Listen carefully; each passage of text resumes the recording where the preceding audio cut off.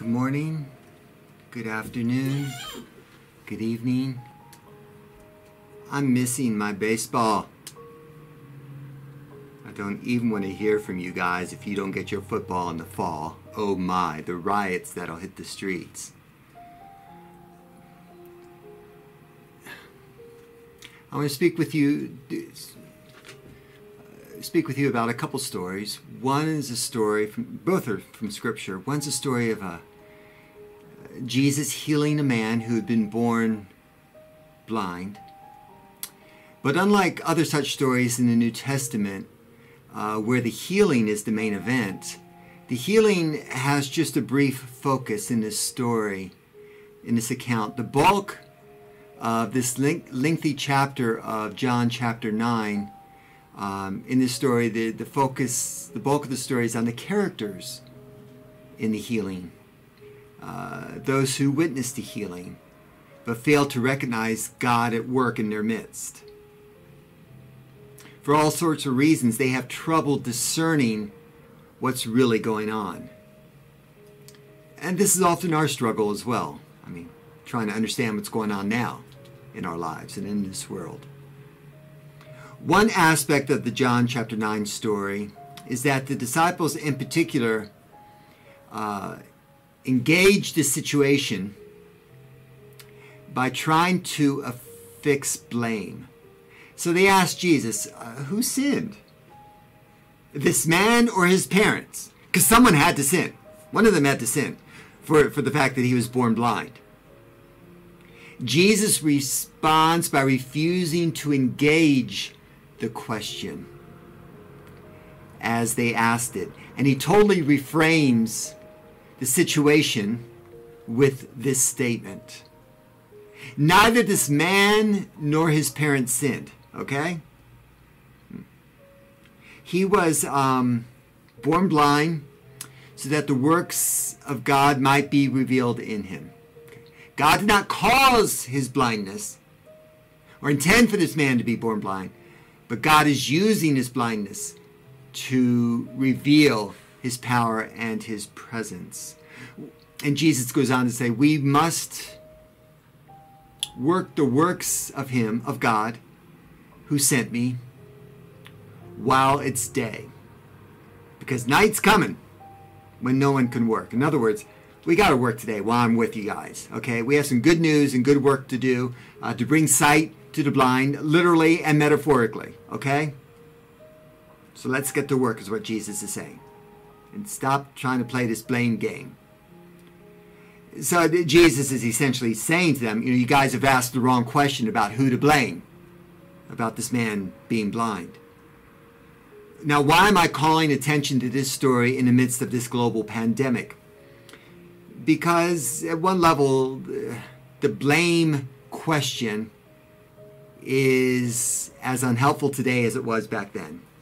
Who are we to blame for all this? Like, that's really going to help us right now? We just need to help each other get through this.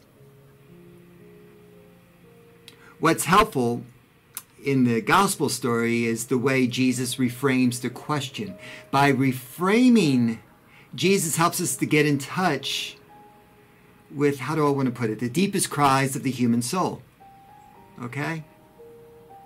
Uh, and wants us to ask questions like, okay, God, what are you doing in all of this? What is being revealed? What does it say about your nature and about our human nature?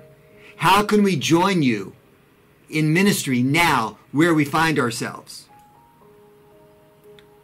You know, what are you saying, God? How can I hear you better? These are all questions we need to be asking that I think Jesus really wanted his disciples to ask 2,000 years ago.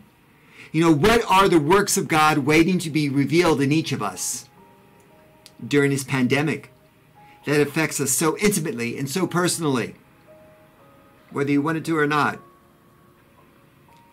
I think if we knew the answer to that, we would know what to do on any given day. Even as we navigate the most significant crisis I think that many of us have seen in our life, we must not forget um, to ask this all important question what's happening right now. What's happening right now And how can we join God in it? Because God is in the now. So, how do we join God at this moment where we find ourselves? What is He calling us to do? You know, one of the truths that keep pressing in on us um, in so many different ways, I think, is one that um, Dr. Martin Luther King Jr. Um, expressed in a letter from a Birmingham jail in Alabama. He said, I'm cognizant, cognizant of the interrelatedness of all communities and states. And I cannot sit idly by in Atlanta and not be connected to what happens in Birmingham. We are caught in an inescapable network of mutuality, tied in a single garment of destiny. Those beautiful words. He says, whatever affects one directly affects us all indirectly. At this moment, it's the experience of the interrelatedness, interconnectedness, the interwovenness that I find so riveting because it's global. Right now, it's our interconnections and how we're navigating that reality that is a life and death issue. Literally. Impacting every aspect of our existence together on this planet right now, the inescapable network of mutuality, as Dr. King said, that has our attention. It should have our attention. That we're all in this together. It's being tied together in a single garment of destiny that um, I don't think we can no we can no longer deny, or we can try. You know we can try to pull back, but mm. the systemic nature of things, the fact that whatever affects one affects us all indirectly, is both obvious and beyond comprehension at the same time.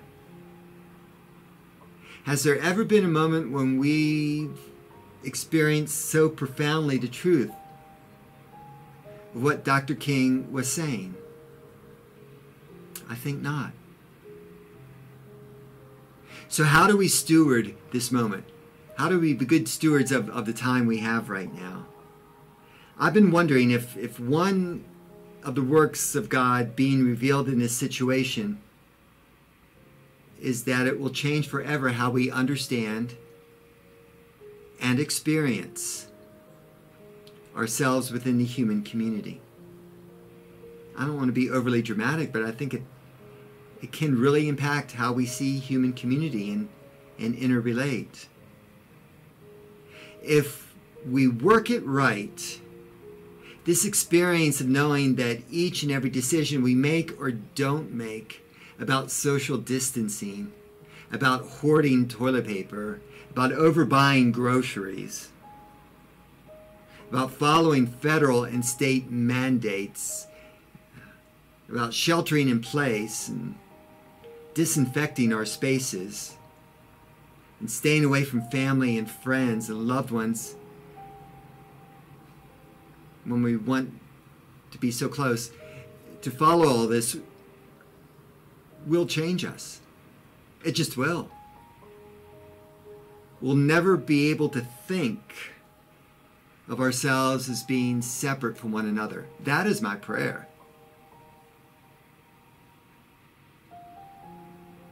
Even and especially across those lines that have so often divided us. Oh, this could break down the walls. If that could be a blessing in all of this. People are fighting, though, to keep the walls up, aren't they? I can't help wondering how this experiential knowing of our interconnectedness might impact what God's able to do in and through us, both now and later. You know, one of the strangest moments the disciples had with Jesus was when he was uh, in conversation with them, telling them, uh, trying to talk to them about his impending death. And he said this It's to your advantage that I go away. Uh, I don't think so, Jesus. I mean, at that moment, the disciples were sure that uh, they couldn't have imagined how that could possibly be true, that it would be to their advantage if Jesus just Jesus just goes away. To them, the physical presence of Jesus right there with them had, had been their greatest good, but they would soon learn differently.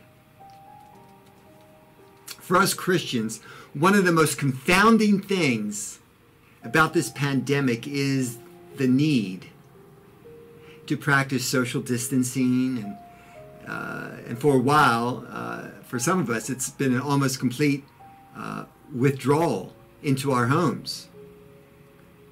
To refrain from gathering and hugging and passing the peace goes against everything we Christ followers know and practice. The cancellation of gathering groups where we can be physically and emotionally and spiritually present I mean, with one another, along with being prohibited from participating in our our noble, our normal in-person connections with family and friends is excruciatingly painful and difficult. In part because I think it feels at some level unloving. And that's why this statement from Jesus to his disciples is oddly helpful and encouraging when he tells them that he's going to leave and it's going to be to their advantage. Because I think it points out that there are moments when it is loving to go away. And clearly, this moment that Jesus had with his disciples is, and clearly this moment we find ourselves in is as well. In our current situation, to stay away is an expression of love and care for others, as much as it is a protection for ourselves. Seeing this staying away as a loving endeavor and gesture might help you somehow. Henri Nouwen comments, a theologian, he once commented, he said, in about Jesus leaving the disciples, he said, in Jesus' absence, a new and more intimate presence became possible.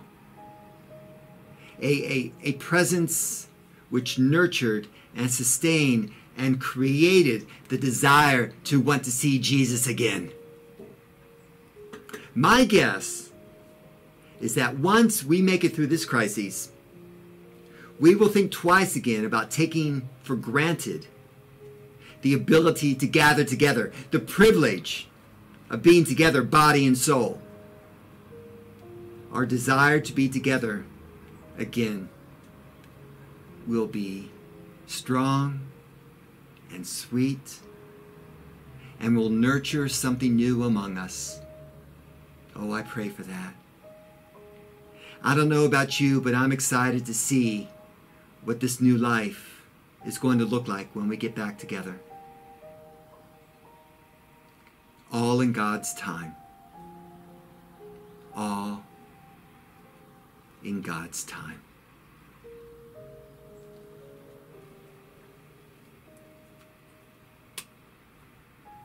Amen.